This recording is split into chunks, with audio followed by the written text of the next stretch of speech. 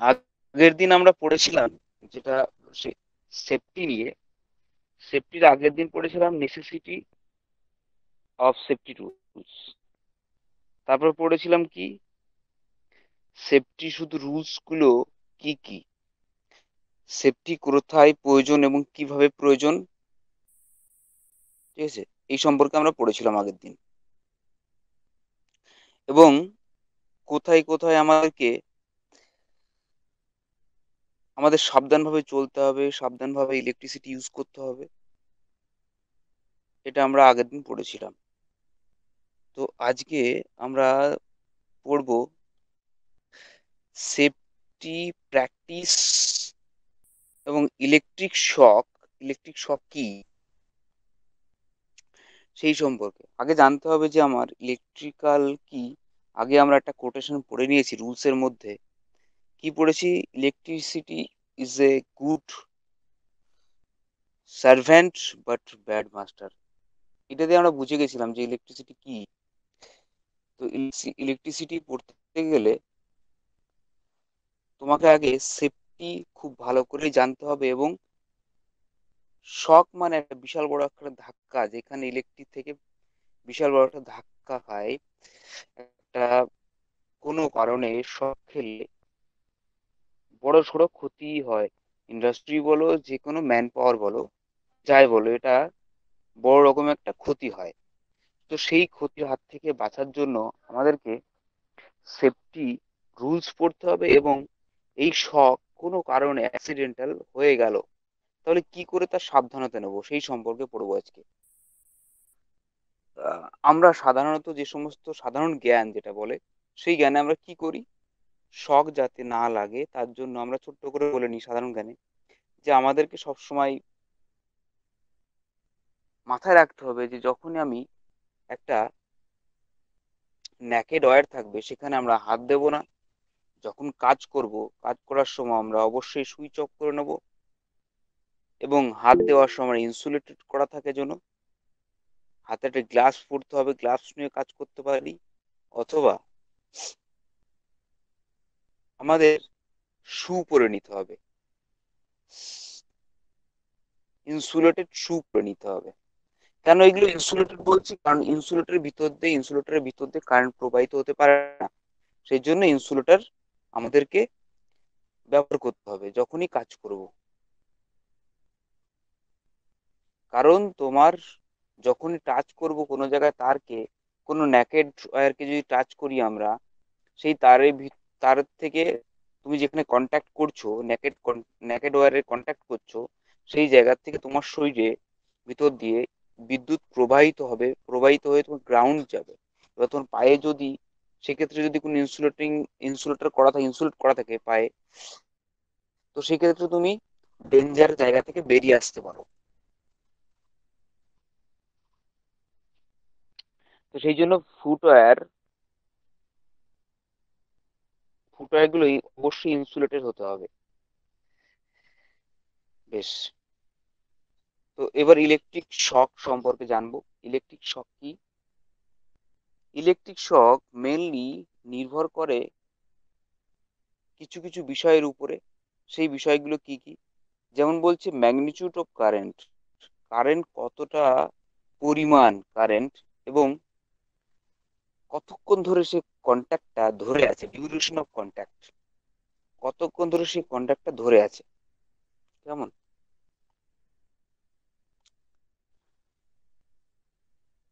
দেখো কারেন্ট কখনো সহৃদয় হয় না, নির্দয়ই হয়, এটা মনে রাখবে। কখনো সহৃদয় হয় না, সবসময় নির্দয় টাইপের হয়। তোমাকে কারেন্ট কখনো ছেড়ে দেবে না। ওটা কোনো বন্ধু নয় তোমার। তোমাকে সাহায্য করবে, সব দিক দিয়ে হেল্প করবে। কিন্তু তুমি যদি তার সাথে বেশি দেখাতে গেছো, তাহলে কিন্তু তুমি বিপদ আছে, তাহলে তোমার কিন্তু বিপদ আছে। তো সেই জন্যে বলছে নির্দয় টাইপের কারেন্ট কোন সহৃদয় হয় না। তো বলছে এবার ডিপেন্ডস করে কার উপরে। এজ অফ পার্সন যদি বয়স্ক লোক হয়, তাহলে মোর ডেঞ্জারাস কিন্তু। একটু শখ লাগলেই বিপদ আসতে পারে। যাদের অল্প বয়স, তাদের ক্ষেত্রে হয়তো অল্প শখে সে হয়তো প্রাণে বেঁচে যেতে পারে। তারপর বলছে, কারও কারও শরীরের রেজিস্ট্যান্স ধরো একজন, সাধারণত আমরা কমনলি যেটা জানি, সেটা হচ্ছে মানুষের, সাধারণ মানুষের রেজিস্ট্যান্স কত? এক হাজার ওহম। এবার কারও কারও হয় শরীরে প্রচুর পরিমাণে জল রয়েছে। তো সেই ক্ষেত্রে তো রেজিস্ট্যান্স তো কমেই যাবে, তাই না? তো রেজিস্ট্যান্স কমে গেলে তখন কিন্তু শখের পরিমাণটাও বেড়ে যাবে। এবং বলছে যে, তাহলে আমরা কি কি পয়েন্ট এগুলো জানলাম? আর একটা পয়েন্ট হচ্ছে যে, যদি ভেজা চপ্পল বা জুতো পরে থাকো, সেই ক্ষেত্রেও সমস্যা। সেক্ষেত্রে একটা ডিপেন্ডস করছে ভেজা, জুতো। বা ইনসুলেটেড যদি জুতো থাকে, তাহলে খুব ভালো হয় বা ফুটওয়্যার যদি ইনসুলেটেড করা থাকে ভালো হয়। তাহলে ডিপেন্ডস করছে এই সমস্ত বিষয়ের উপরে। কারেন্টের ম্যাগনিচিউড কত, তার ডিউরেশন অফ কন্ট্যাক্ট কতক্ষণ ধরে তুমি ধরে আছো, তার বলছে যে এজ অফ পার্সন যে পার্সন শক খাচ্ছে তার এজ কত, তার উপরে তার বডি রেজিস্ট্যান্স তার ওয়েট ফুটওয়্যার পায়ের জুতোর ভেজা আছে কিনা বা ড্রাই আছে, সেটার উপর ডিপেন্ড করছে বা ইনসুলেটেড আছে কিনা। বেশ, এইগুলো নির্ভর করছে। আর আছে, যেগুলো হচ্ছে ওয়েদার ওয়েদারের উপর নির্ভর করছে। তার ভোল্টেজ কতটা, এটার উপর ডিপেন্ড করছে। তার মেঝেটা কেমন, ভেজা টাইপের ড্রাই টাইপের সেটার উপর ডিপেন্ড করছে। ঠিক আছে? নেক্সট পয়েন্ট নেক্সট পয়েন্ট হচ্ছে কি effect of electric shock electric shock কি কি হয়?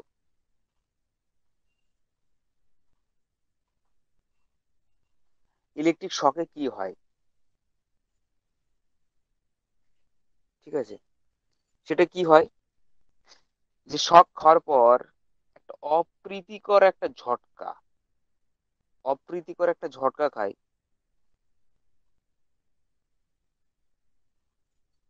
যদি কারেন্টের লেভেল থাকে লো লো লেভেলের কারেন্টের ক্ষেত্রে কেমন টাইপের হবে? শক সেটা হচ্ছে একটা হালকা ধরনের মানে অপ্রীতিকর। তুমি ওটা চাও না, এরকম টাইপের একটা ঝটকা। এবং সেই সাথে তার নিজের ব্যালেন্স হারিয়ে ফেলবে। সেই সাথে তার কি হবে? সেই যে হিউম্যান যে পার্সন শক খাবে, তার কি হবে? তার ব্যালেন্স হারিয়ে ফেলবে। নেক্সট পয়েন্ট কি? যদি হাই লেভেলের কারেন্ট শক খায় জয়েন করা হ্যাঁ যদি হাই লেভেলের কারেন্টে শক খায় কেউ, তার পায়ের পাতাটা দেখবে সরে যাবে। যদি নিচে দাঁড়িয়ে থেকে শক খায় বা কোথাও দাঁড়িয়ে থেকে শক খেয়ে যায় তাহলে পায়ের পাতার বল থাকবে না। পা যে ওর পায়ে পায়ে দাঁড়িয়ে থাকবে, সে দাঁড়িয়ে থাকার ক্ষমতা থাকবে না। তো পুরোপুরি ডিসব্যালেন্স হয়ে যাবে। এবং সেইখানে হাই লেভেলে যদি হয় হাই লেভেলে যদি শখ খায় সেখানে পুড়েও যেতে পারে। যেমন তোমরা ছোটখাটো যে সমস্ত ছোটবেলায় শখ খেয়েছো, সেই সমস্ত শখে কিন্তু তোমাদের পুড়ে গেছে।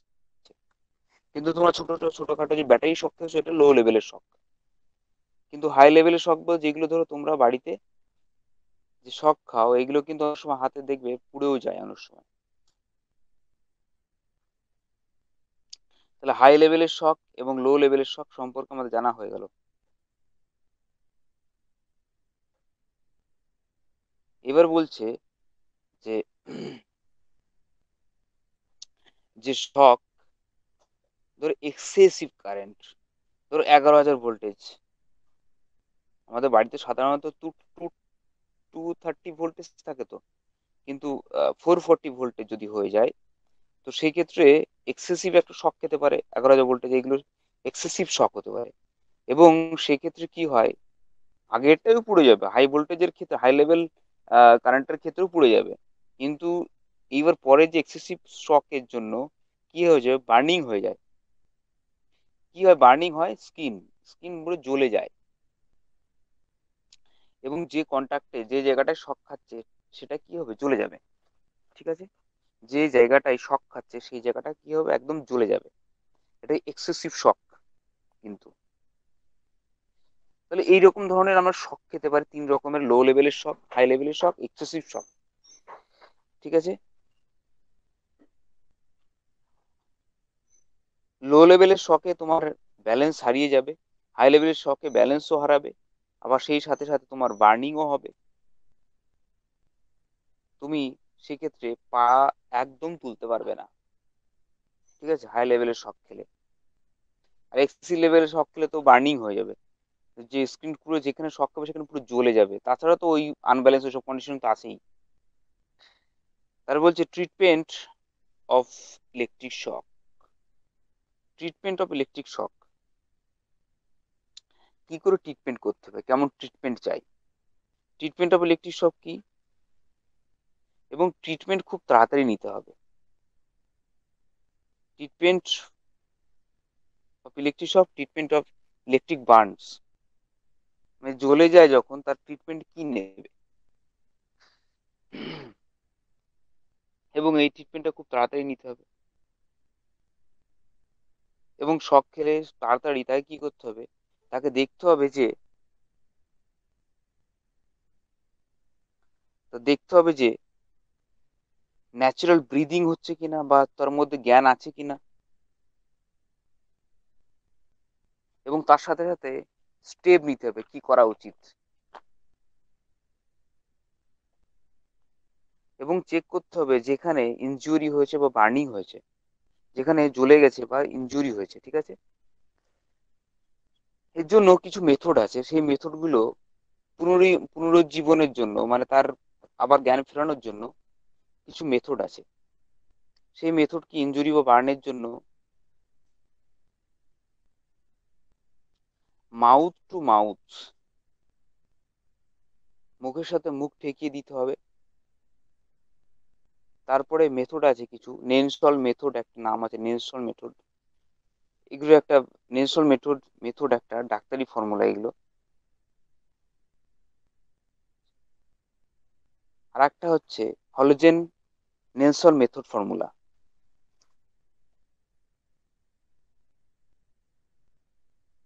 Schafer method. এরকম বিভিন্ন মেথড আছে, মেথডগুলো অ্যাপ্লাই করতে হবে, ঠিক আছে?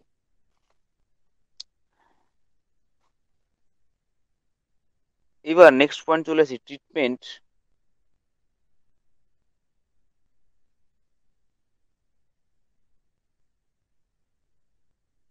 ট্রিটমেন্ট ফর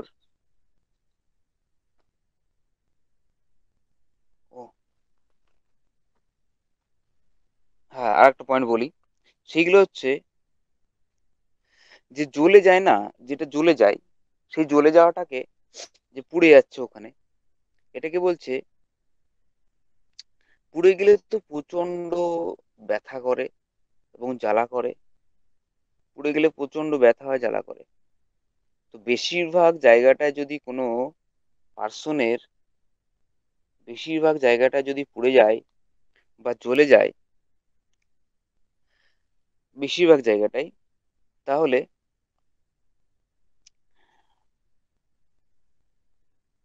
সেই মতো অবস্থায় কোনো ট্রিটমেন্টই করা ঠিক নয়।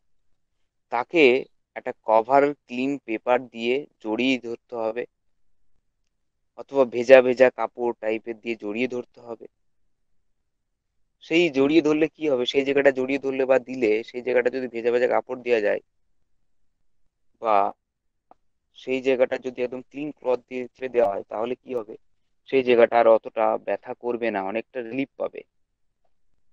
কেমন? অনেকটাই রিলিফ পাবে।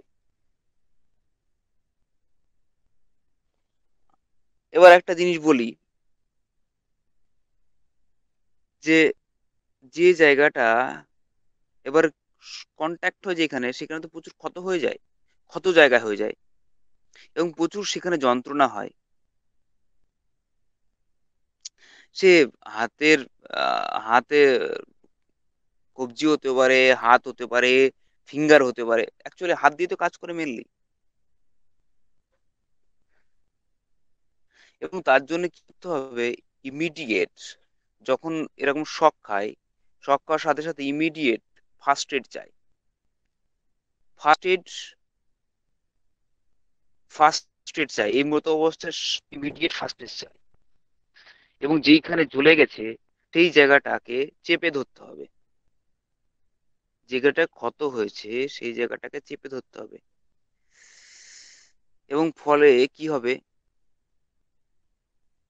যদি ব্লাড বেরোতে থাকে সেই ব্লাডটাকে বন্ধ হবে, চেপে ধরতে হবে, তাহলে কি? সেই জায়গাটা ব্যথাটাও কমবে। তাই বলছি ইমিডিয়েট অ্যাকশন নিতে হবে। ইমিডিয়েট অ্যাকশন বলতে ইমিডিয়েট অ্যাকশন বলতে কি বলেছে?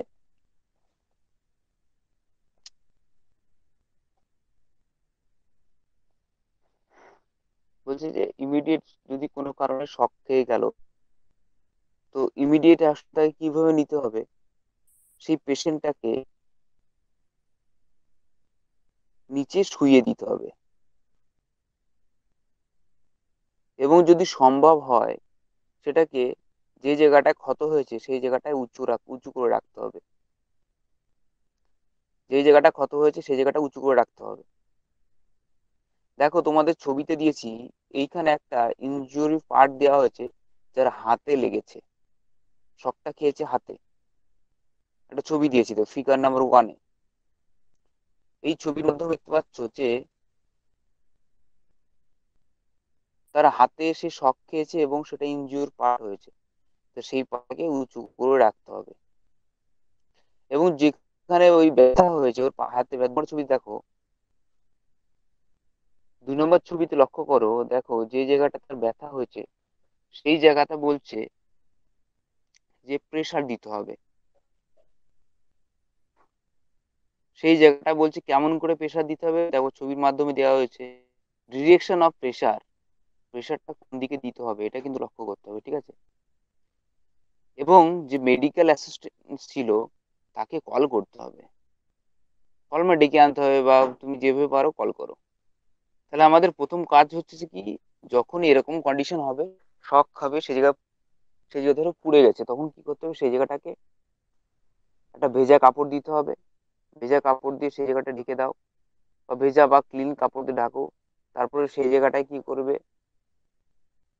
প্রেসার দিতে হবে। ব্যথা হচ্ছে, যদি ব্যথা হয় প্রচণ্ড পরিমাণে, তাহলে সেই জায়গাটা আস্তে আস্তে প্রেসার দিতে হবে। প্রেসার দিয়ে সেই জায়গাটাকে ব্যথা নির্মূল করতে হবে। তার ব্যথা যন্ত্রণা কমাতে হবে। ঠিক আছে?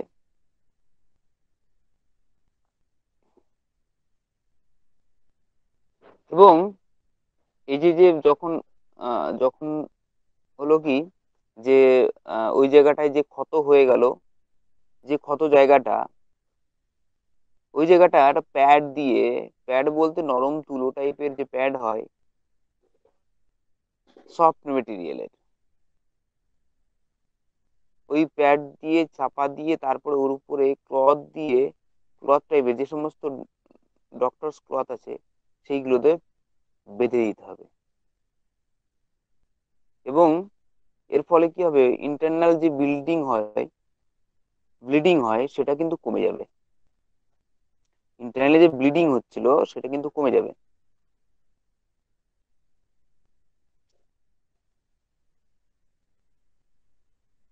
বড় যদি কিছু হয়, তাহলে তো অবশ্যই সেটা করতে হবে বড় রকম যদি অ্যাক্সিডেন্ট হয়ে গেল, তখন এরকম টাইপ ব্লিডিং যদি হয় তো সেক্ষেত্রে তোমাকে বড় রকমের পদক্ষেপ নিতে হবে যে প্যাড দিতে হবে এবং তার উপরে ড্রেসিং একে বলে ড্রেসিং ক্লথ ড্রেসিং ক্লথ দিয়ে বেঁধে দিতে হবে। তাহলে পেশেন্ট অনেকটাই যে শখ খেয়েছে পার্সন সে অনেক রিলিফ পাবে। ঠিক আছে? বেশ। এটাই গেল আমাদের আজকের topic